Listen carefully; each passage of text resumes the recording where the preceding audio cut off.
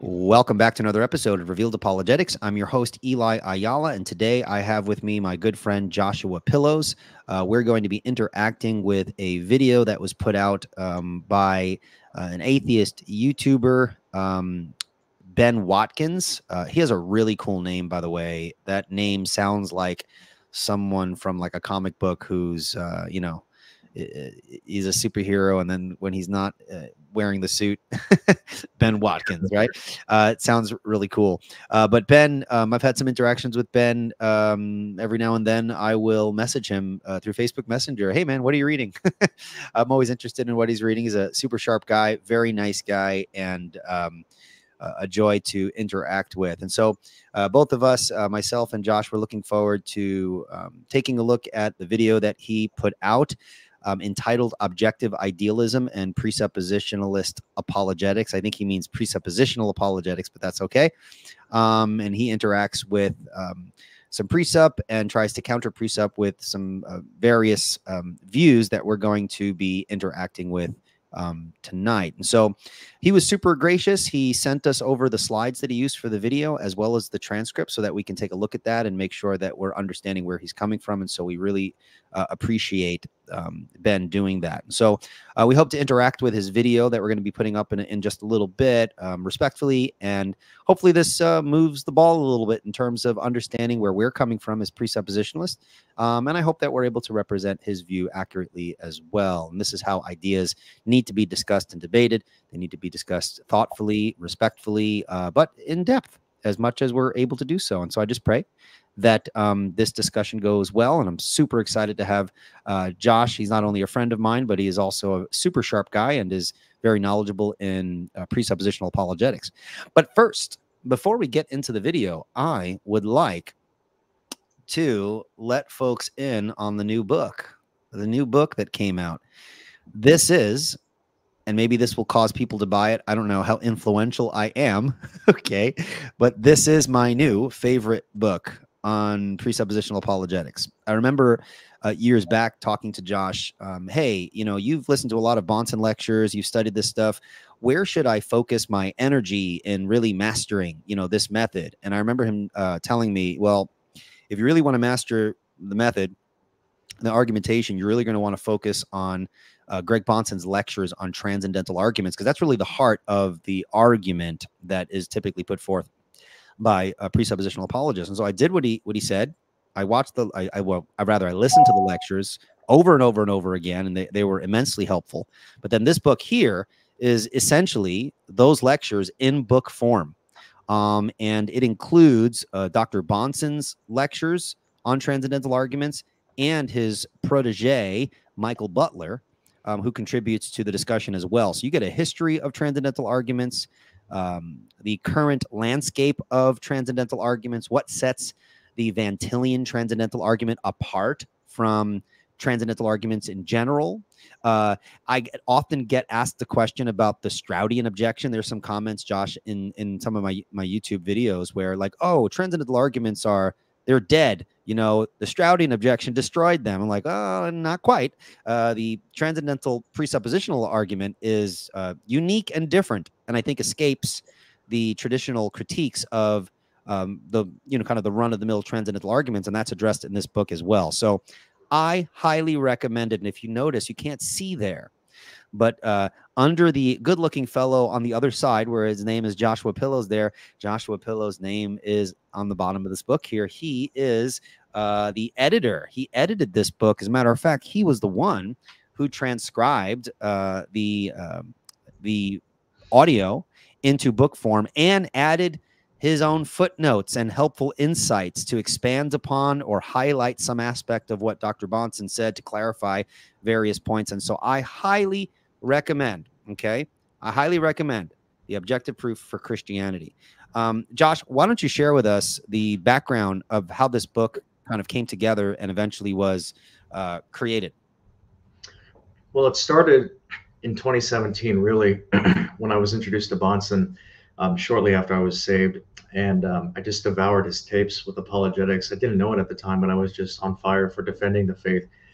And um, it was really just a long train from that point on. I came around his transcendental um, seminar from which this transcription is probably COVID time. And of course, we had like nothing to do. And I just, so I just kept transcribing tapes as I had been. And I realized that, wow, this is material that we need in public because uh, in the absence of Bahnsen's death or Bahnsen being here, academia has come after presuppositionalism. Other Christians have, and they've leveled uh, philosophical criticisms that weren't addressed in any of his other books or any of his public debates or really any other presuppositionalist for that matter. And I'm like, wow, this is what we need. Like this is it. So I transcribed it like I transcribed his other courses, his other tapes, and uh, it took. It was probably two or three years after that that I approached the American Vision about publishing it because it was much needed. And the footnotes were originally my notes when I was first transcribing it to, you know, okay, this is I get this, and then over the years I refined them as I grew in that knowledge. And so um, it really just came about through years of studying Bahnsen, and it was like a treasure that I had found. And uh, this, I was like, this is what we need. This is it. And and so it really is the uh, end all defense of presuppositionalism, and in the process, um, illustrating it to be an objective proof mm. in the wake of academic criticisms today. I mean, it addresses every single criticism from a philosophical standpoint that has been promulgated since Bahnsen has passed. Right. And um, even the ones, Josh, where I often hear, but the problem with presup is, and then someone will lay lay out a, a, a counterpoint that they think presuppers have never thought about. Like, oh my goodness, you know, and then it's been addressed, right? So like, and it's old. Like these are old objections, right? So um, a lot of the things that people just take for granted, like, oh, presup is weak because uh, this obvious weakness. I'm like, dude, that's that's old news. It's been responded to, and uh, it's available. Unfortunately, not available in a lot of the writing, but available in a lot of the audio lectures. But now we have um, some key audio lectures in in written form. So uh, that's going to be super helpful for people. Yeah, for sure. And it helps that uh, Covenant Media Foundation made it free a few years ago, and then Apologia uh, took up the task, so to speak, and is right. the audio. But even then, free or not, I mean, you don't. How do I learn about this apologetic? You're not. Oh, what about these tapes from the 80s and 90s? You know, you know it's right. like it's not your first thought. You want to go to literature, and it wasn't in the literature, and so now it is. Right. So now, if you go over to AmericanVision.org, you can order your copy of The Objective Proof for Christianity, coming straight to your home with just a simple order. And it will be autographed by Joshua Pill. No, I'm just kidding. He won't order uh, autograph it. I'm sure he would if he could. But anyway, oh, yeah. maybe one day, one day you'll start signing books. Be like, one, I want Pillow's autograph. Uh, that'd be pretty cool. Yeah, and then right. people will be fighting over your autographed copies, just like people try to fight over my my Cornelius Van Til signed copy of Defense of the Faith. I had there. well, actually, speaking of, well, this is on my mind, um, and I posted about this on Facebook. But for those who don't know or haven't read it, that um, the book was a huge success, and we expected it because of the material that was in it. Sure. Um, Gary DeMar at the American Vision, we're already starting on another project in the same format. So the next project uh, presumably, because we we haven't really started it yet, is um, transcribing. Well, there's a transcription, but it's of the Bahnsen Stein debate, and it's going to be the same layout with my footnotes at the bottom as well. You know, mm. articulating what's going on, embellishing on it, but more of quotes from Bahnsen's other works, such that he's more of a present figure in the book, mm. to where he wrote the book in real time, and here's what I'm cross-referencing from what I wrote years ago. And so um, that's going to be the next task in the coming years. And um, it's just amazing how God has worked through that man. It's just insane. You know, it'd be great in book form, but I know it'll never happen. Is to have the interaction between Dr. Bahnsen and uh, Gordon Stein um, oh, yeah, after the, the debate. Their yeah. their written correspondence is uh, lengthy enough to be put in book form. Um, yeah, that would be cool um, but there's no ac- we have no access to that unfortunately and i think there's some um, issues of publishing it. So but anyway uh, maybe if molinism is true there's a possible world in which uh, god actualizes that yeah. All right well let's jump right in without further ado. So so one quick one last okay? The objective proof for christianity the presuppositionalism of Cornelius Van Til and Greg L. Bahnsen um, and it includes uh, portions of the presentation of Michael Butler, who was really kind of Dr. Bahnsen's prime primary student that was kind of studying under him, Yeah. um, who has disappeared. He is um, apparently raptured, nowhere to be found. Uh, but um, he's got some great stuff nonetheless, and so folks could, should totally check it out. All right. Well, without further ado, let's kind of jump right into this Mama Jamma.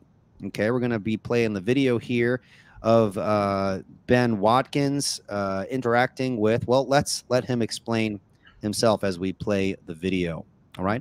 And by the way, all, before I get started, all of the YouTuber kind of stuff. If you like what you see and it's useful, click the uh, you know the like button, notification bell, all that sort of jazz, and be sure to share the content if you find it uh, useful. Um, and of course, when this transitions over to the iTunes um, podcast, um, writing a review is super helpful as well. Greatly appreciated. So, um, so there you go. All right. Uh, let's get started. All right. You could just indicate Josh when you'd like me to stop, okay? And then I'll stop if I think we need to stop. Welcome to another episode of Real Atheology, a philosophy of religion podcast. I'm Ben Watkins, and I'll be your host today. In today's episode, I want to discuss at least three things presuppositional apologetics, objective idealism, and then a few brief remarks on the argument from divine hiddenness. So let's start with presuppositional apologetics. There's a notorious tradition of Christian um, presuppositional apologetics online, but there's also a Christian tradition of it specifically the Van Tillian tradition, that uh, is more serious and makes more um, analytically respectable claims as far as what is often associated with the study of knowledge, often called epistemology. Well, first, I want to stop here to say kudos to Ben for making that proper distinction, right? A lot of people will be exposed to presuppositional apologetics online. And so there's kind of like a, a stigma associated with like online presuppositionalists. Uh, we don't have to mention any names or, or any situations, of course, but uh, part of my, my goal, Josh, in this channel when I first got started was to try and help um, the presuppositional apologetics public relations uh, to offer kind of a more respectable uh, uh, presentation of presuppositionalism to make a distinction between presuppositionalism as a methodology and presuppositionalists as certain individuals and personalities that are typically associated with the method. So I really appreciate uh, Ben making that distinction between what we might call pop presuppers and the more sophisticated presuppositionalism found um, in Van Til, the followers of Van Til, and things like that. So I, I really much appreciated that distinction. Yeah. And so this tradition, the Van Tillian tradition of presuppositional apologetics, claims um, that knowledge implies theism uh, because God is a necessary condition for the intelligibility of the world and its ability to know itself. According to this view, if there were no God, then we could not know anything at all because God's divine revelation is a necessary precondition for knowledge. Because everyone knows something, it follows everyone knows God exists. So Van Til puts it like this If one does not make human knowledge wholly dependent upon the original self knowledge and consequent revelation of God to man, the man will have to seek knowledge within himself as the final reference point. Then he will have to seek an exhaustive understanding of reality. He will have to hold that it cannot that he cannot attain to such an exhaustive understanding of reality. He has no true knowledge of anything at all. Either man must then know everything or he knows nothing. This is the dilemma that confronts every form of non-Christian epistemology. Presuppositional apologetics takes several implications from this. So, for example, if someone denies God exists and they admit they do not know everything, then they must be somehow suppressing a knowledge of God. Additionally, there is no neutral epistemological ground between the Christian and the non Christian to resolve their disagreements. Any conversation about the coherence of theism, the uniformity of nature, or the place of Christianity in anyone's life, we must either presuppose Christian theism or succumb to total skepticism and admit that knowledge is impossible. All right, so Josh, what what what would you say so far? How how has Ben doing uh, so far in explaining his understanding of presuppositional uh, methodology and, and, thinking? You know, I appreciate it. It's pretty much accurate. Um, one point that he mentioned a little earlier was that he you know, he emphasizes that divine revelation is a necessary precondition for knowledge. And many critics today, no doubt because of the analytical mindset and, in philosophy, is it's really epistemically emphasized. And revelation is the epistemology of, of Christianity, but it's also God's very existence. that is the necessary precondition. And of course, if you say his divine revelation is the necessary precondition, then that presupposes his existence, obviously. Otherwise, we wouldn't have a revelation. But yeah, just to be uh, conscious of the fact that we need to also take into account the metaphysical aspects, which we will get to at length ad nauseum um, as we go through this video. Right. So, so when we presuppose the existence of God, that's a metaphysical presupposition, as much as it is arguing transcendentally that Christian worldview is conceptually necessary. So Correct. we would argue for conceptual necessity. The Christian worldview is conceptually necessary, and the triune God uh, is metaphysically necessary. Correct. According to Psalm 14, the fool hath said in his heart, There is no God. And according to Romans 1:18, for the wrath of God is revealed from heaven against all ungodliness and righteousness of men who by their unrighteousness suppress the truth. My aim here is going to be twofold. I want to first respond to Van Til's claims by putting forward a form of objective idealism, recently defended by Sebastian Rödl in his wonderful book, Self Consciousness and Objectivity. And then in closing, I want to turn the tables on the presuppositional apologist and argue that not only are there people who sincerely believe that God does not exist, our knowledge of such people is actually evidence against God. This is the well worn argument from divine hiddenness, as defended by people like J.L. Schellenberg in his wonderful book, The Hiddenness Argument. And in case you've missed it, my co host Justin Schieber has put together a series going much more in depth into the reasoning of the hiddenness argument um, if you've not seen that series yet, I highly recommend it. So check out those episodes of Real Atheology, a philosophy of religion podcast, and I'll be sure to include links in the description.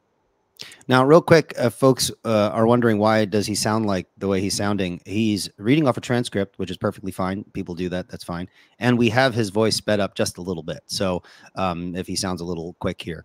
Now, I, I want to say something important here, uh, Josh, and maybe you can comment on this. Um, I think what Ben is doing in terms of presenting the case that he's going to present is what unbelievers should be doing if they want to interact with presuppositional apologetics, right? He is offering a counterpoint to um, argue that he could have objectivity in a non Christian worldview. Now, we don't believe he succeeds, but that's what we're wanting to do, right? We lay out our worldview and we try to explain why the, the Christian worldview provides the necessary uh, preconditions for knowledge and intelligible experience. And then, of course, the unbeliever is going to bring his worldview to bear and try to um, say, hey, you know, my worldview, to counter your point, my worldview can, can, um, uh, provide those preconditions, and so your position is false. Um, that's what we should be doing, uh, interacting with the ideas, not just accusing presuppositionalists of playing word games. Uh, we're not playing word games. We're laying out worldviews, and it's really helpful when the other side actually is willing to lay out their view. So again, uh, more kudos to, to Ben for approaching the topic the way that he does, even though ultimately we're, we're going to disagree. Any thoughts on that, uh, Joshua? No, it's good.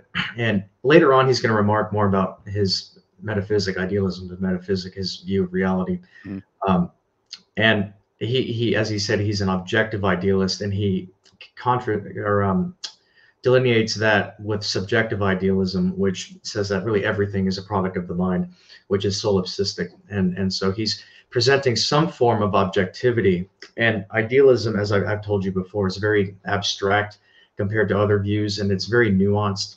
Um, so I guarantee there will be points where I will misrepresent some things of what he says, but um, at the end of the day, it doesn't matter because what I'm really wanting to go out are sp- specific statements um, of what he's saying. But yes, it's very commendable and it is the appropriate thing to do to, well, let me lay out my worldview to counter the presuppositionalist um, before or after you lay out yours or whatever. This is how it should be. Worldviews in conflict, as Bahnsen would always say. It's not just, uh, you know, name calling and this is why you're wrong and then i'm not going to explain my side but so yeah it's a conflict of worldviews that's what apologetics here is all right very good so to recap i will defend at least two contentions here.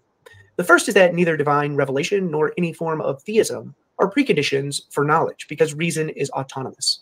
The second is that there are some people who do not believe god exists much less know that he exists and some of these non-theists imply atheism. My first contention we can call the autonomy of reason, and I will argue a form of objective idealism undercuts essential claims of presuppositional apologetics. I will also help us understand the metaphysical and epistemological presuppositions that underpin reason, judgment, and their relation to our knowledge more generally. My second contention constitutes the argument from divine hiddenness. It provides us with a negative answer to the question of whether or not God exists. Hey guys, it's Justin. Sorry to interrupt, but we put a lot of time and effort into these episodes because we think it's very important that people come to think more carefully about religious ideas. And you're watching the and, uh, anyway, that's all. Back to the episode. There we go. so let's now turn to objective idealism in my first contention. I want to point out at the start that my own sympathies regarding the science of knowledge, or what is called epistemology, are with Hume, Kant, and Hegel broadly. And the form of objective idealism I'll be defending here is roughly the view that reason is a fundamental and primitive idea. To use some Hegelian jargon, we can have knowledge of the world in and for itself by understanding any determinate concept in itself and then out of itself by way of negation. This dialectic implies that humans are rational animals, capable of reason or understanding reasons, to have okay. certain beliefs. Okay. The first issue. And for, I mean, again, for the listeners, you're just going to hear the same thing over and over again because Ben misses the mark from the get go. So he's just going to keep committing the same blunders. You know, he says, you know, we're reasonable creatures, we're rational creatures, uh, but he never bothers to mention why. You know, why is that in the first place? He starts with the rationality of the mind and how we can construct an objective reality apart from revelation but the problem is that there are uh, transcendentals, preconditions for the rationality of the mind. And which is to say that he's thinking too parochially. He's not seeing the broad picture, which is what the Van Tillian apologetic is. Uh, so already, I'm gonna I'm gonna point out many times that he's gonna keep appealing to the ra- rational creatures. We know what's true, and and so forth. And what you just took for granted that that's the case. Why is that the case on your worldview, on your view of reality? Why is it the case to begin with? So he just takes that for granted. So that's his made one of his major mistakes throughout the entire video. Right now, when someone says, "Well, well, we are rational creatures," like I don't have to prove that, bro. You know how how would because there are people who who say like this is dumb, Brand. Like we're, we're obviously rational creatures. Like we can take that for granted because it's obviously the case. How, how would we interact with something like that? Well, I mean, you could say, well, obviously God exists. I don't need to you know justify that. You know, if we're going to play the arbitrary game, I'll just play it right back at you. Right. Um, right. But in another sense, it's okay. Well, your game is we don't have to justify these fundamental beliefs. These aren't just trivial beliefs. If that's the game we're playing, then I don't have to justify God existing. It just is that way. And we can all just be arbitrary at the end of the day. We don't really have to be justificatory in our philosophy because that's just what we're going to do. It's not a rational enterprise. Right. All right. Thank you for that. A way of concepts or ideas, because the world itself has a rational and intelligible structure. Hegel helps us understand his view with his famous dict. Oh, right there. I was a piggyback. See, the world itself has a rational. Yeah. That's a huge metaphysical claim. Again, it's like, you know, there are these like memes or comics out there. Um, are like, you know, are you a philosopher? And then the response is why? You know, because that's all philosophers ask is why over and over again. They want to get to the fundamental, you know, the basic truths of reality and so forth. So again, you know, we're rational creatures. Why? He took that for granted. Well, you know, reality is rational. Well, why? He took that for granted. And I pushed him on this on Facebook um, after he posted the video. I said, well, you first have to justify the uniformity of nature. The rationality of the mind is dependent on the rationality or the uniformity of the reality that it's in to begin with. And so the uniformity of nature is a transcendental for the rationality of the mind. Metaphysics precedes ontology. And so when I pushed him on that, he openly admitted that maybe we probably don't have any justification as to why, you know, the external world, so to speak, or reality is rational to begin with. There's really no solution to the problem of induction and so forth. He openly admitted that. Right. And, and it's just a concession to defeat because that was my entire point is if you can't justify that transcendental, then you can't justify the transcendental argument you're trying to give from the rationality of your very mind. Right. He's giving a localized transcendental argument for the rationality, but not going broad enough to the more the, the deeper foundations. It's kind of like, uh, and I'm not saying he's doing this on purpose, uh, but it's kind of like, hey, look what's happening over here, but don't pay attention to the, the man behind the curtain, which is at the fundamental level, I can't justify the things that I'm talking about on this side of the curtain, so to speak. Yeah, and that's that's why you know one of the reasons I'm sure why philosophy is taking an analytic turn. We'll just focus on the narrow aspects because you know all the great philosophers up to Kant, and Hegel, they really failed. There were always defects, and, and, and yeah, it's just and, and Bahnsen mentions this in the new book as well that and Van Til openly knows that unbelievers can give a transcendental argument. I mean, it's right. been in the literature before Van Til, all the way back to Aristotle. But if an unbeliever gives a transcendental argument, it's like a rock falling in a bottomless ocean. He says, You have this rock, this solid argument here. That's a transcendental argument, but you have nowhere to put it in your worldview because if you want a rational, coherent system, by which to justify or to argue from, it has to be rational and coherent. Everything has to be connected. So if you have one transcendental here, it's like good for you, you know, but you have a plethora of others others that you have to justify. And so right. how do you bring them together? How do you bring them together in a unified whole? Yeah, right. and, and, and that goes to you know brute facts or mute facts. He has to come to you know all the facts of the universe for the first time and, and interrelate them via the medium of his own mind. And what's the mind? Well, it's fallible, it's finite, it's temporal. We're all mistaken. We're not objective creatures, we're subjective creatures. And so it's just a mess at the end of the day. So even if he succeeded in giving this local transcendental um, for the rationality of his mind through objective idealism, it's ultimately meaningless because he has a plethora of others to account for. And as right. I just said, he openly admitted on Facebook, we can't really justify the uniformity in nature, in which case he has no argument to begin with. Right. Very good. That the rational is the real and the real is the rational. What this means is that the metaphysics of reality can be understood by the rational capacities of our minds.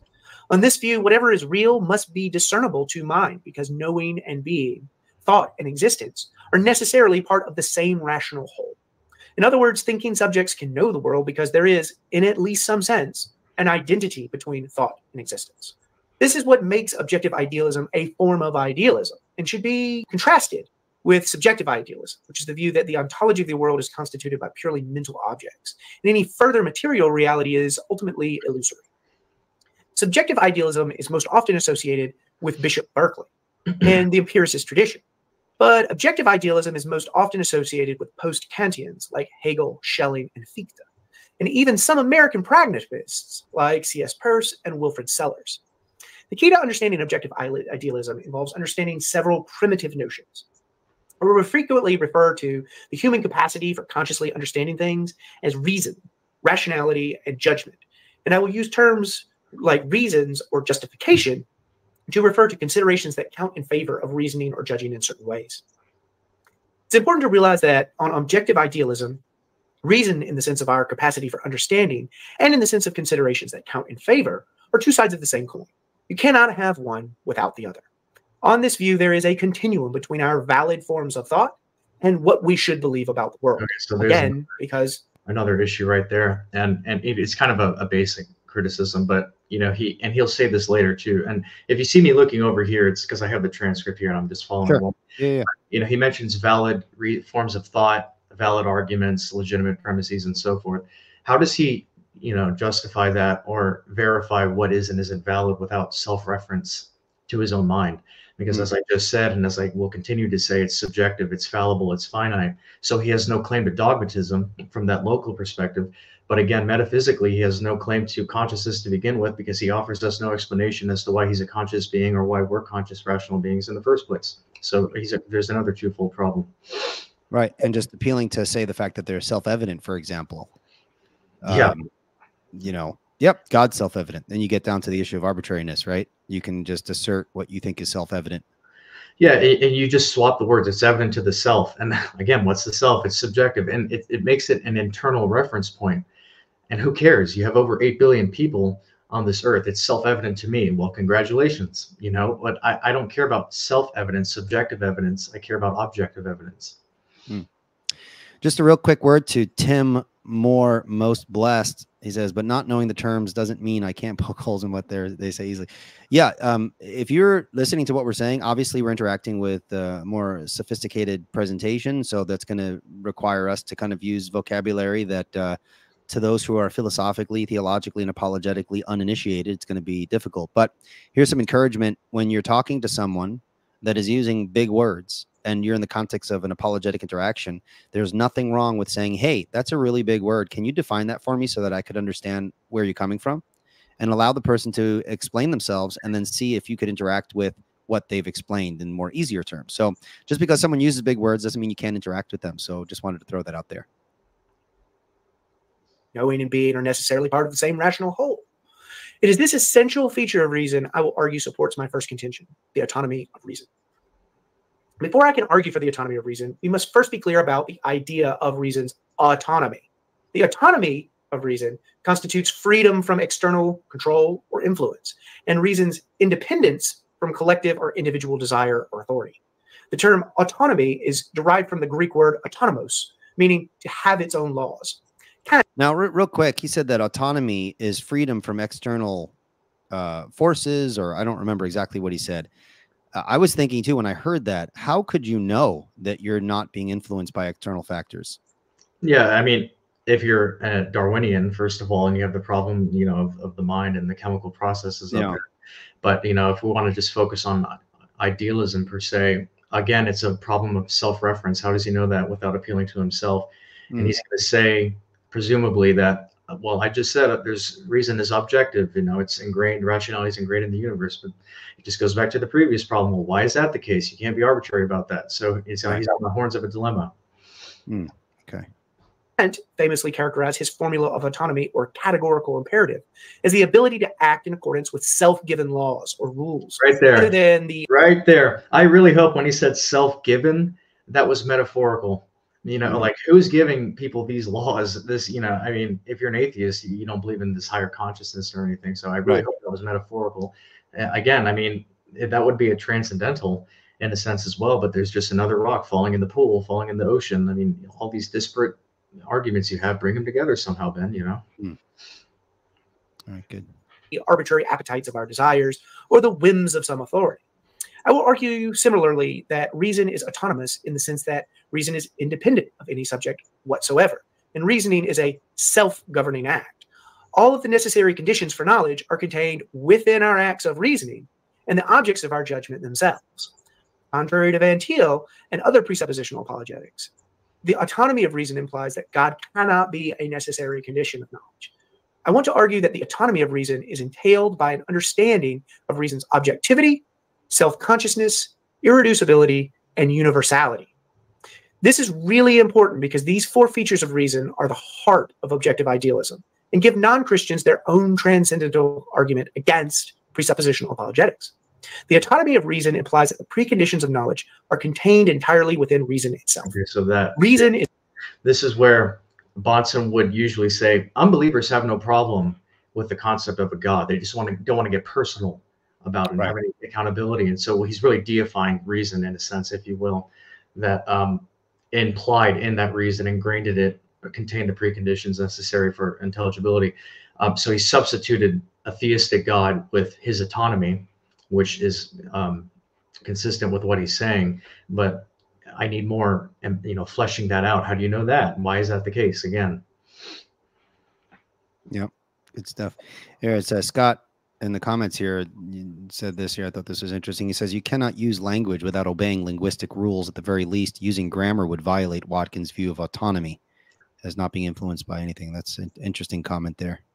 yeah, it's it's very again nuanced, and I use that actually in the book in one of my footnotes, like um, trying to illustrate it at a layman's level of uh, what a transcendental Mhm. argument would be to a skeptic and how it's inherently circular. You have to use language to prove it, but it's not begging the question. Uh, but yeah, so it's interesting that he paralleled is independent of any knower or object of judgment, but it also does not require us to go beyond them. Let's start with reason's objectivity. Reason is objective in the sense that the truth of judgment does not depend on any particular subjective character. So reason is general or universal enough to apply to any particular subject. The objectivity of reason arises when we conceive of the world as objects, independent of subjective experiences and, and independent of subjective appearances. So it presupposes we are self consciously aware there is a world independent of subjective experience. Subjective thought is characterized by the attitudes or responses of subjects towards the objects of their judgment, while objective thought is characterized by irreducible rules or principles about how subjects should, ought, or must think about the world. Now let's consider self consciousness. Thinking or judgment that something is true contains within it self conscious awareness that it is a right or it is objectively valid to judge so. For example, I am self consciously aware of my judgment that I have hands. I have the experience of my hands, and I have a concept of something having hands. I judge that I have hands. And that judgment also, in the same act, contains the judgment that it is right or correct in an irreducibly normative sense to believe that I have hands. Insofar as my judgment is objective, Okay. the yeah. judgment that I have Yeah, I mean, again, just going back, you know, knowing anything presupposes uniformity, let alone knowing he has hands. He keeps talking about having judgments. How is that possible? Why is that the case? why does he presume validity and soundness? He references truth. What exactly is his theory of truth? And so forth. So uh, that's why I keep saying it's just ad nauseum the same problems. He's just taking all and enduring and enduring identity through time. Endure, yeah, and, and, even these other uh, problems like one in the many. Mm-hmm. For instance, I, identity through change. I, am sure he might have an explanation for that. He's a smart guy, but I, am just touching on you know the the immediate issues that he's going through. So he's talking about all of these categories and these judgments, and some are valid, some are not. And I'm just like, okay, great, but explain why that's the case to begin with, and why our consciousness is structured that way to begin with, metaphysically or ontologically, or both. Wasn't it Richard Dawkins who said, "Why questions? It's just silly questions." yeah, to which I respond, "Why?" the why why questions are just they're just silly. They're just silly questions. Uh, not that he's saying that, but uh, yeah. it reminded me of Dawkins just then. All right. Hands is universal or independent of any given first person characters or determinations of subjects that are not contained in this. How does, he, how does he know that? How does he, how does he know things that are independent of first person characters or experiences to begin with? See, part of idealism is, is connecting reality with the mind, which he has to justify, but like really definitively to draw that dichotomy on an, auto- on an autonomous ground, like I, just all these presumptions, like I, I don't get it.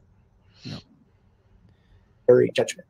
So I do not need to go beyond the object of my judgment, say into a divine revelation, in order to set, have knowledge of it. Now consider irreducibility. Reason is also irreducible in the sense it is irreducibly normative, meaning that truths of reason or facts about what we should believe can be neither restated nor rephrased using non normative concepts and terms. When we characterize a reason to believe something, we are given neither a causal nor empirical description of it. Rather, we characterize justifications about what self consciousness should believe in what Wilfrid Sellars calls the logical space of reasons. The space of reasons describes the objective concepts and logical landscape that we use to intelligibly understand and navigate the world. That is, the a priori knowledge we have that makes our experiences of the world intelligible talk of reasons, epistemic justification, and intention are not the same as and cannot necessarily be mapped onto what Wilfrid Sellars calls the realm of law, or claims about causes and their effects in an external world. Contrary to presuppositional apologetics, the logical space of reasons provides us with a neutral ground where the question of God's existence or coherence can be considered in an impartial and universal way. Is there anything that stands out to you there, Josh? Yeah, uh, well, the first thing before that is just that came up to mind is he's appealing to uh, Sellars, and if you wanted to say, well, he's appealing to his book, you know, we'll just say a book. Sure. He's a, that's his holy book, right? And we have our holy book, and one of them's from man, one of them's from God, and that's just another way to frame the argument and put him, put him in a corner. Uh, when I first read that, he, he here's his proof that there is a neutral ground after all. Um, I was being charitable, and he's arguing it from again his worldview, right? We don't want to, you know, misrepresent him. And I have no problem with granting him that on his presuppositions, on what he believes. But again, it's the parochial problem of broadly speaking, we're not all in the same boat. And so, in that sense, broadly, which he's not taking into consideration, there is no neutrality. If he can prove that his worldview is true, then sure, there is neutrality. There's a consciousness, there's a rationality behind the world. But um, as far as the broad picture goes, no, there is no neutrality. I mean, he's proving his point by making a response to presuppositionalism because that assumes that there are two different worldviews, two competing philosophies. Mm. Um, and so, as if he can't prove that his idealism is objectively correct, which he never will be able to as a subjective creature, um, then no, he has not proven that there is any neutral ground whatsoever. Okay, very good. Finally, let's consider the universality of reason. Reason is universal meaning that any particular reason should convince any subject able and willing to consider it impartially. Because its authority is general enough to, pl- to apply to any. He said impartially. Did he not just assume categories of neutrality already? Yeah, that's just him being consistent with with what he okay. believes, and he yeah, can't. Okay, again, sure, yeah, he talked about particular self consciousness, whatever. if it is the case that we ought to believe something for some reason, then that same reason, without and exception, there's a keyword ought. I don't know where that came from. He's having problems, as we've already underlaid underlined with his descriptions of reality that he's just arbitrarily taken for granted. But now he's incorporating prescriptions of ought and who or what tells us what we ought and oughtn't or shouldn't believe to begin mm-hmm. with. So he, he has a problem with the descriptions. He doesn't realize it. And now he's talking about prescriptions, and he's just going to run into another problem with that. So there's just another issue. Mm, good point. Would also apply to any other subject in a similar epistemic position. The universality of reason is captured once again in Kant's formula of universal law or categorical imperative. If there is a reason to believe something, then that truth is not relative to any particular subject. It is objective. For example, if it's the case that some argument is valid and has true premises, then it's the case that any subject who judges such an argument should, ought, or must accept its conclusion. Yeah, and its conclusion. Really quick in passing, yeah, like I, I, mentioned earlier, he talks about validity and if an argument is sound and so forth. Again, how does he know that or justify that without self-reference? Because, and he sent uh, you and I, for those watching, um, a PowerPoint, a slide, and he talks about three different ways that uh, Munchausen trilemma of how you can justify something, and we want to avoid circularity. But um, how does he justify that without self-reference to his own mind, which again is subjective and fallible? How do you tether that subjectivity and fallibility to objectivity and infallibility? So why don't you expand why don't you explain that for some of our listeners when you talked about that he can't avoid self-reference? So in an atheistic worldview there is no god that we know of anyway so there's no higher mind uh, let alone a higher mind that's absolute eternal omniscient and so forth. And so the only um, de- the default is therefore that it's our minds 8 billion plus people and as I've said before, well, you have to describe the mind. It's fallible. We all make mistakes. We don't live forever. We don't know everything.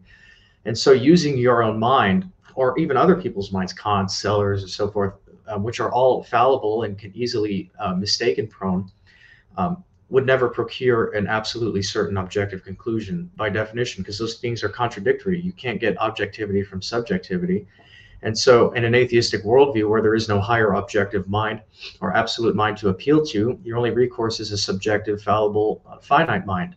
And again, it just it won't get anywhere meaningfully if we're wanting to be objective in our analyses and not just appeal to consensus or relativism.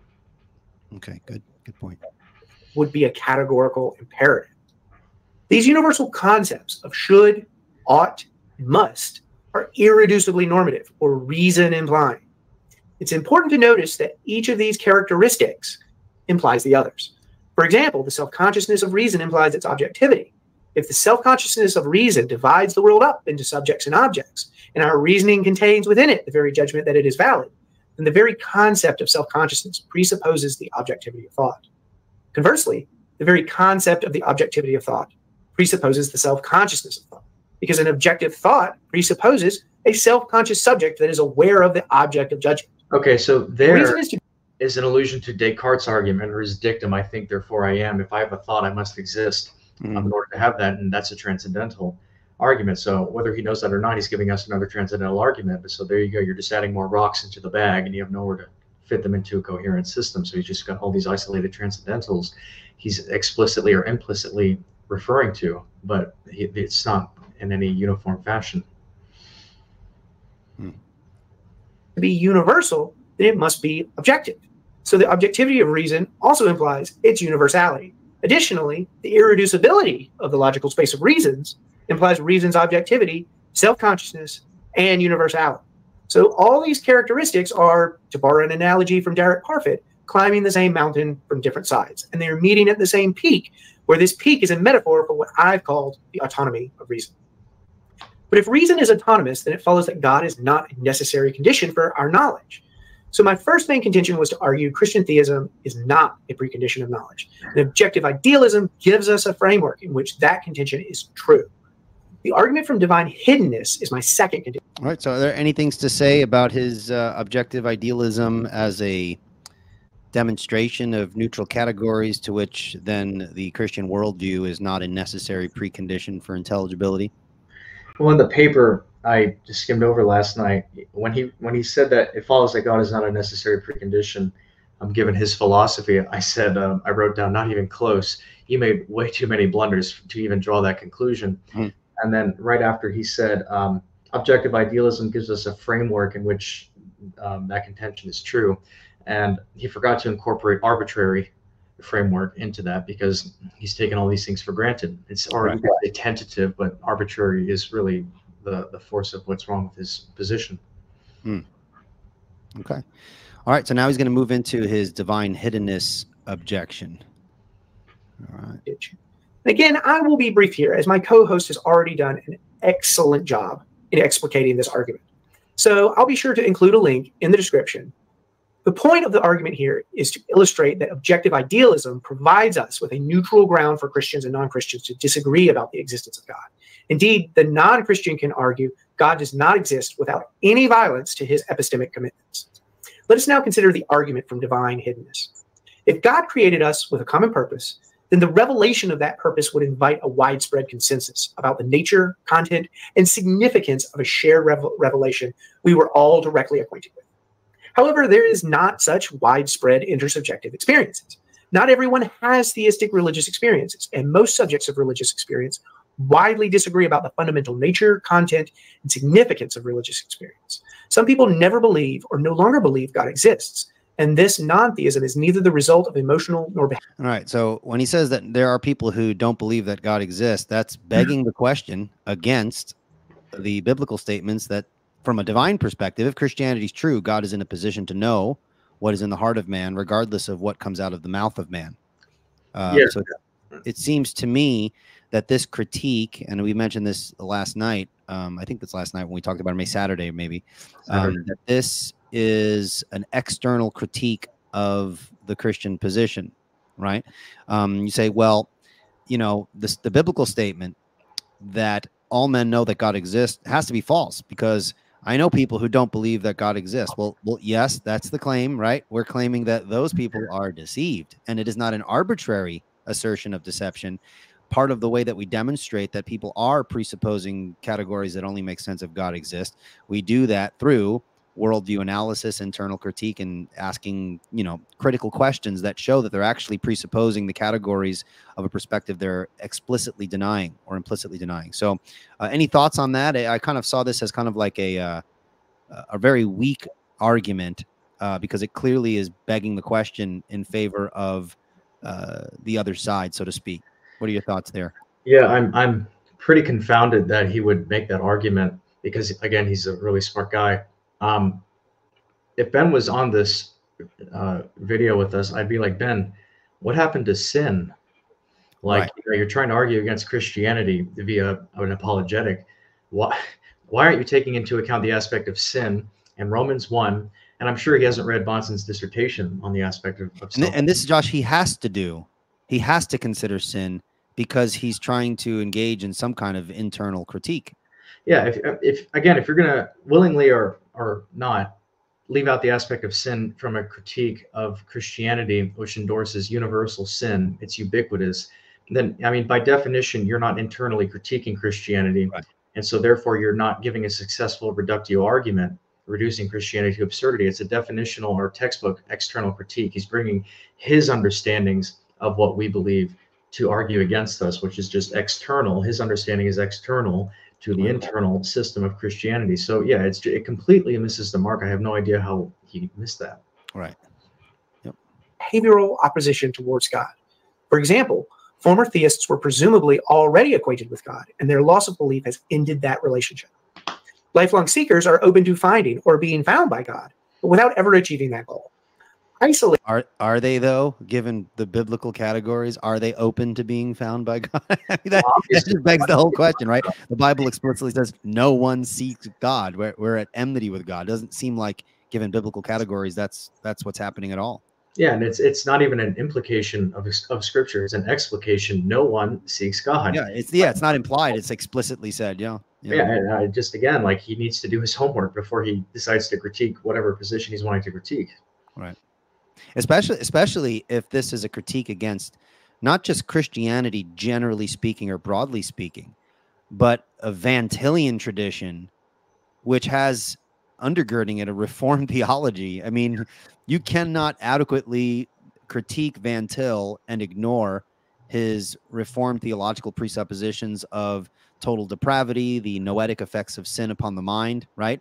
The, the it's literally to com completely miss the mark if you're going to critique his perspective and, and ignore uh, some of those key points that are inherent within his uh, within his methodology.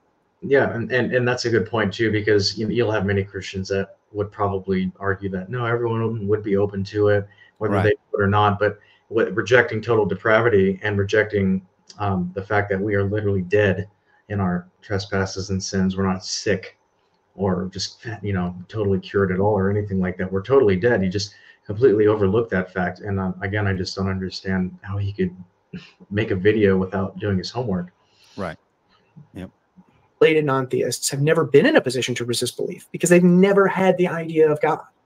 Uh, again, never had the idea of God. Uh, who says this? The the sinner who's running from God? Yeah, I don't know. I don't know God. Of course, of course. How can the natural man's going to is going to suppress the knowledge of the truth, which is found in the very scripture that he quoted towards the beginning of the video. Yeah. Now, again, you don't have to believe that the scripture is true, but if you're internally critiquing the Christian world, do you need to consider what Christianity, how Christianity speaks to that situation. It's it's accepting what we believe is true for the sake of the argument, right? And in particular, for the sake of the reductio argument that you're wanting to give forthcomingly, uh, and he's not assuming it in charity or just out of ignorance. Right. So the hiddenness of God argument, I never, I never, I mean, I never found convincing at all. Um, not at all. If Christianity's true, right? Internal critique. If Christianity's true, God's not hidden. That's it. And there are explicit propositions in Scripture that state He's not hidden. He's He's um, the heavens declare the glory of God. His existence is so obvious that men are without excuse. Again, you don't have to believe that. You can be like, well, I don't believe that's the Bible. Yeah, but if you're internally critiquing the Christian worldview, you, you can't pass that by because then you're not going to adequately internally critique the Christian worldview. So again, yeah. this whatever you think of his objective idealism, which obviously we think has problems, and I don't think it demonstrates what he thought, what he thinks it demonstrates.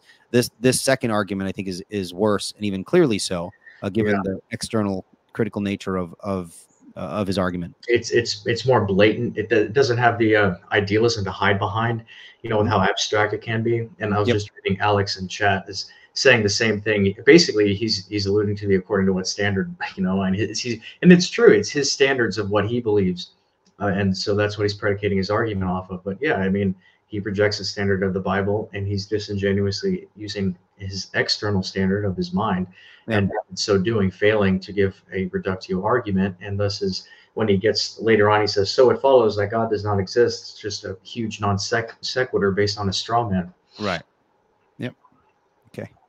hundreds of centuries of isolated non theists have unavoidably lived their entire lives within the influence of a fundamentally misleading system of religious meaning if Christian theism were true. These evidential considerations, to my mind, decisively refute the claim everyone knows that God exists. And to your mind, definitely not logically demonstrated. Yeah, see, that's those are the keywords. To my mind, well, yeah, you got a one in over eight billion chance of being right there. Um, there are people to their mind thinks the the question who created God is a complete you know refutation of. Uh, oh yeah, have me shaking in my boots. When I yes, yes. Okay, let's see. I doubt my judgment here would be idiosyncratic.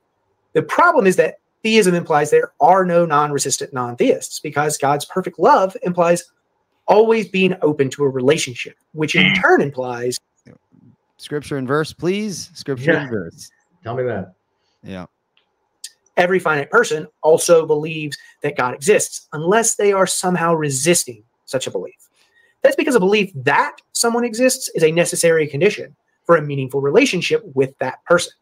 It cannot be the case that we are in a meaningful, positive, reciprocating relationship with someone unless we also believe that they exist. So if theism is true, then there, there are no non-resistant non-theists. However, if theism is true, there is no non-resistant what? What do you say? Theist.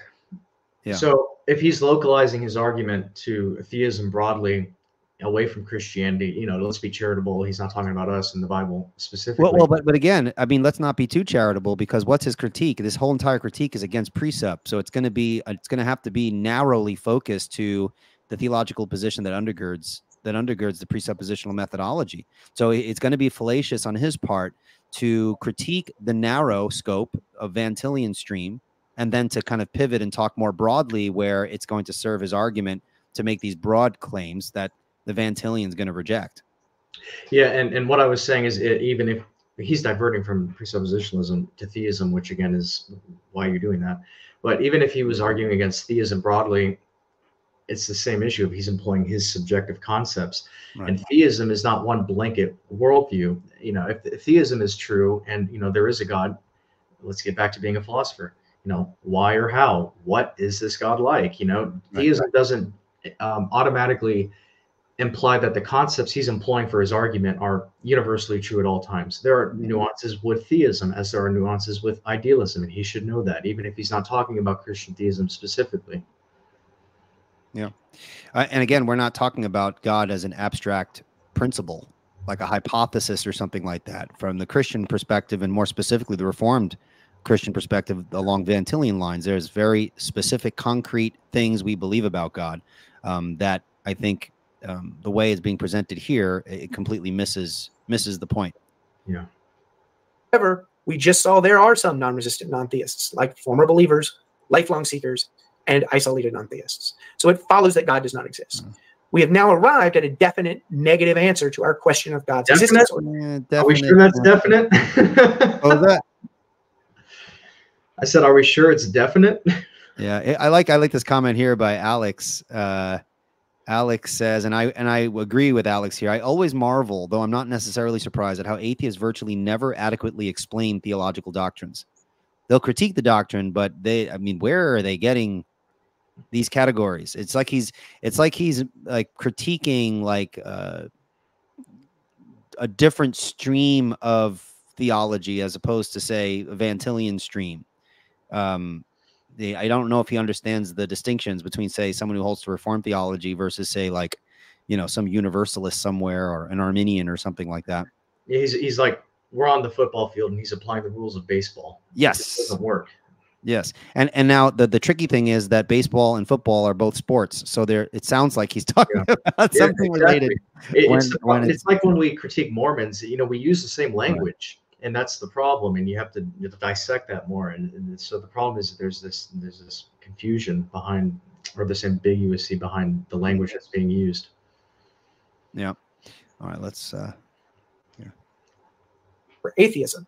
And we've all done it from a neutral ground. Ah, I have put my own transcendental argument for the autonomy of reason on the table in the form of objective idealism. Now, I've argued this defeats the presupposition that theism, much less Christian theism, is a necessary condition for knowledge. Finally, we saw how there are some non resistant non theists, implying Did we see? Did we see that? we saw that there are non-resistant non. did we see that? Uh, yeah. is- is the evidence simply because someone says that they're non-resistant? I'm open. I'm open. I remember Yeah, having a conversation with a person who, um, he uh, quote unquote used to be a Christian, right? Uh, and then the reason why he walked away, quote unquote, walked away, was that there really is no evidence, no arguments for God. And then uh, we walked around the block and had a very long conversation. I answered all, most of his questions, and then eventually, just flat out, after like an hour and a half of walking around the block twenty thousand times, it felt like he goes, "Even if your God exists, I wouldn't worship him." I was like, "Oh, okay." So you should have told me that at the beginning, so then I wouldn't have wasted my breath answering your questions and giving you reasons that you said didn't exist. Um, people can say all sorts of things. This is why the Bible says that God does not judge as man judges. God looks at the heart.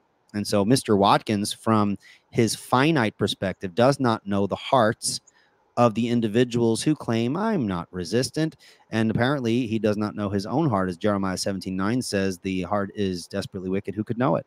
Uh, there is self deception definitely going on. And I highly recommend folks read Dr. Bahnsen's doctoral dissertation on the very issue and reality of self deception. And so, uh, again, people can claim Christians are self deceived as well. We understand that as well. And we'd have to talk about that. But uh, it's not as simply demonstrated. They're just these non resistant non theists. And so, therefore, that's a that's an adequate counter to uh, the Christian uh, presuppositional position. What are your thoughts there, Josh? And, and overarching all of that is the problem of other minds, which Kant couldn't solve as an idealist, and no idealist, let, let alone any un- unbeliever, can solve that. His mind works in a certain way, but how do we know all minds work that way? And maybe I could grant them that his um, group of people that have the same consensus of, of objective idealism works that way, but objective idealism comes from man again, who is subjective, infallible, and so forth.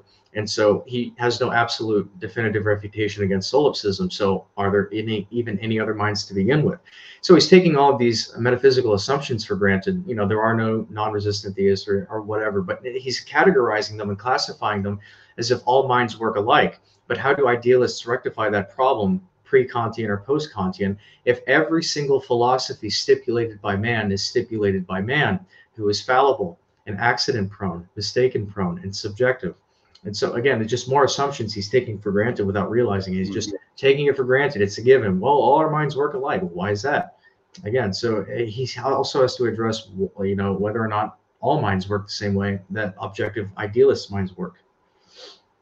Now I, uh, he's finishing up here, and I, I, feel bad. Scott Terry looks like his head is going to explode because we haven't mentioned the. Uh, oh yeah.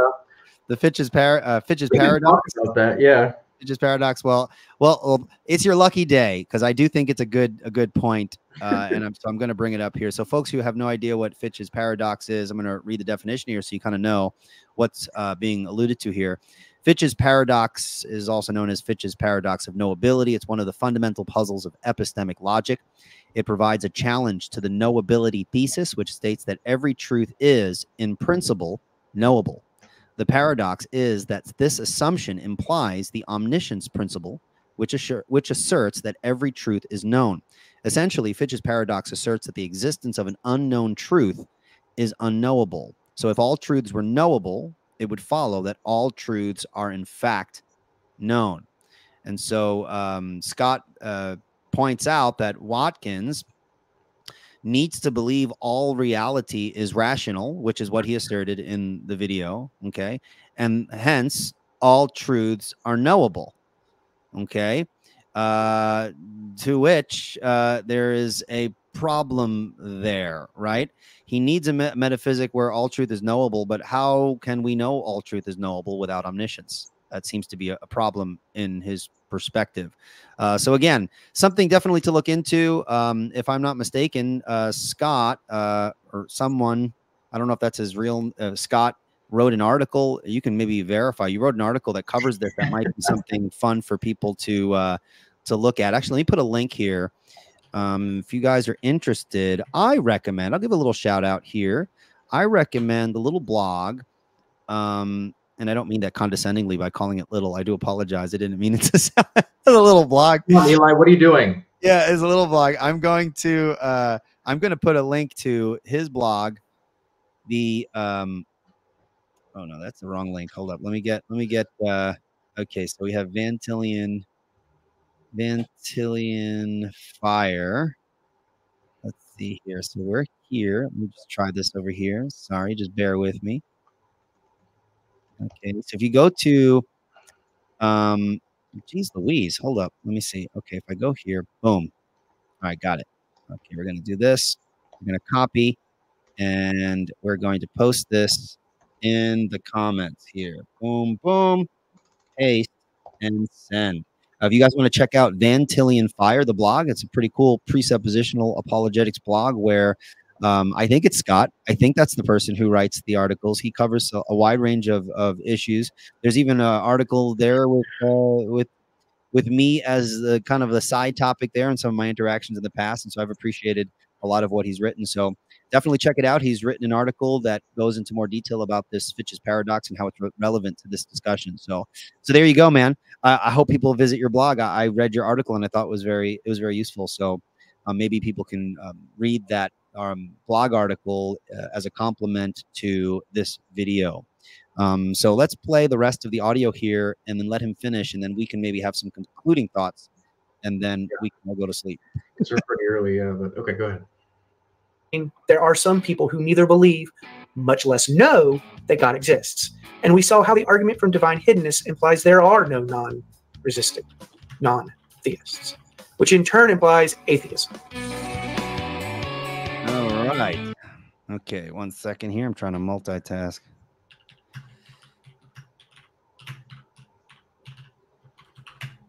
All right. Okay. So there you go. Uh, not a very good case, although what I greatly appreciate about uh, Ben is that his thoughts are nice and organized, so you can at least follow what he's trying to say. Um, and that, I guess, is both the strength and the weakness of it, right? I mean, the strength of it is it's easy to follow because he um, um, um lays everything out in detail. Um, but at the same time, because he lays everything out in detail, it's easy to easier to critique um, and point various things out. So, what are your? Do you have any final thoughts there? No, I mean, it was just one massive blunder, and I don't mean that in a disrespectful way. Obviously, mm-hmm. Ben obviously knows a lot more about idealism, at least than I do, and has done his homework in that regard. But the the transcendental considerations that he, to the extent that he has studied, are too again parochial. They're too myopic. It's too short-sighted, um, too narrow, to where he fails to, from the very beginning of the video, um, represent Van Til's transcendental apologetic as being a holistic metaphysical apologetic. It's not confined to the mind, like an idealist would say, or any analytic philosopher. It goes, it transcends the mind and uh, is a precursor to the mind. As I've mentioned, that the uniformity of reality as a whole must first be the case transcendentally in order for you to even talk about um, idealism being a transcendental. And I emphasize talk about because you couldn't talk about anything if uh, the universe was random if reality was random. So the very uh, metaphysical possibility of him even making a video is predicated on a transcendental that he himself has just left unjustified and has openly admitted on Facebook that it's probably just ultimately unjustifiable. Mm-hmm. And so, like a good analytic philosopher, we'll just focus on a narrow subset of, of some sort of philosophical considerations. Yeah, very good. And then, of course, the divine hiddenness, of course, is a, a blatant external critique. There are a lot of premises yeah, that he laid out that we would just blatantly like, well, that's that's not our position. That doesn't that doesn't count. You don't get the conclusion you're trying to get to because it doesn't accurately represent the situation. And, and it should be a testament, and illustration to show that it doesn't matter who you're talking to or how smart they are, they can always make such elementary blunders, no matter how intellectual, how long they've studied. You don't have to be afraid of anyone always be ready, right? as Bahnsen says, right. always ready to defend the faith. God has made foolish the wisdom of this world. Let them step into the mic as we let Ben do, and he hung himself on the cord. He did it for himself. All we had to do was expose him.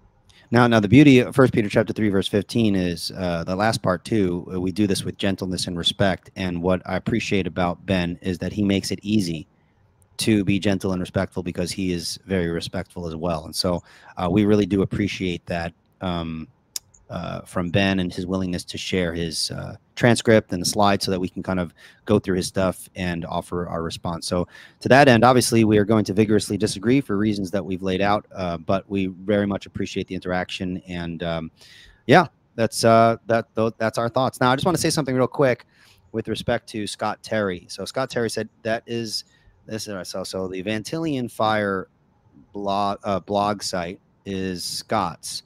I've read a bunch of his articles and I really like what he's written. So Scott, if you could hear me and you haven't signed off, I you have an open invitation to hop on my show and we can talk about some of your articles that you've written and walk through some important things that I think you cover and do a great job in explaining. So if you want, you can message me on Facebook and we can schedule a time and none, none of this well, you know, I just really I like to just write. I don't want to be in front of the camera. Shut up. If you got helpful things to say. Listen, Joshua Pillows here was a was a ninny pants when I first invited him, right? You were like, "Oh, I don't know if I, you know, I'm a musician." I'm like, "Bro, shut. Just come on, stop being whack." You know, here he is. No. He, look, here he is. A couple of years later, I remember yeah, right. when I was standing in my old job I was in a, a narrow staircase, switching buildings from teaching from one uh, one class to another. I had to switch buildings,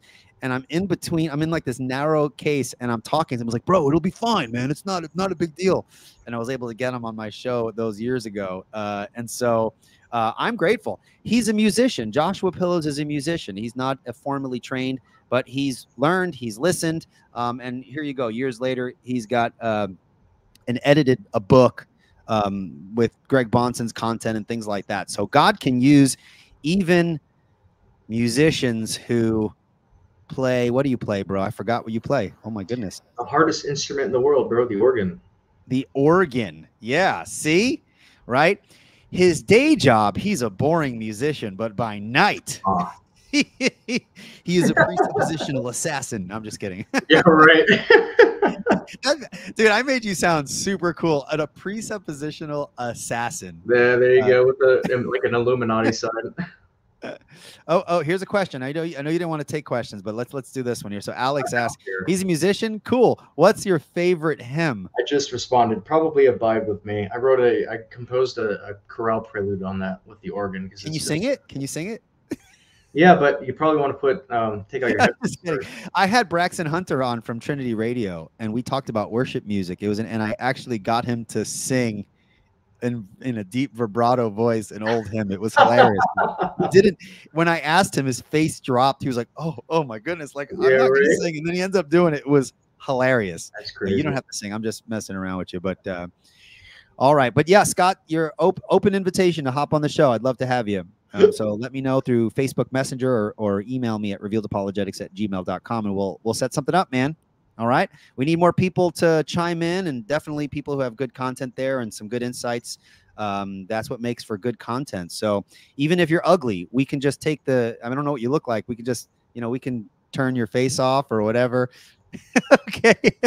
no, but seriously, I would love for you love for you to come on. All right, well, guys, that is it. Uh, on that awkward note, um, uh, we're gonna close up the, the stream here. I really appreciate uh, the comments and support, and Josh, I really appreciate. Uh, just seriously, all joking aside, um, people look at me and say, "Hey, you know, Eli is the presupper guy." I have learned so much from Joshua and our private conversations um, and things like that. And I've read a lot of his papers that he's written. Um, I have found him to be a great resource. And so I very much appreciate your work. I appreciate your labor to uh, promote uh, Bahnsen's work, and I appreciate your friendship. So thank you so much for being on with me. Thanks, bro. I mean, it's always a blessing and an honor to be on here. And you know, I just like as a testament, I I've had zero formal education. Mm. I was apprenticed for about a decade now in music, and I've got my accomplishments through the American Guild of Organists, which sounds really archaic, but it's basically the college equivalent. Um, and so I have my certifications from there, um, and it's universally, you know, accepted. So I could go anywhere in the world, and, and they wouldn't hire me. But uh, but yeah, apologetics and, and music. Never went to school, never went to seminary, and it just shows that. I mean, if you have the work ethic and the time, Sure. um, anything's possible. And with prayer, of course, let God guide you in all things. Right. Well, thank you so much, uh, Joshua. We I thought I'm almost going to call you pillows. Um, I appreciate it. And uh, until next time, guys. Uh, thank you so much for listening. Until next time, take care and God bless. Bye bye.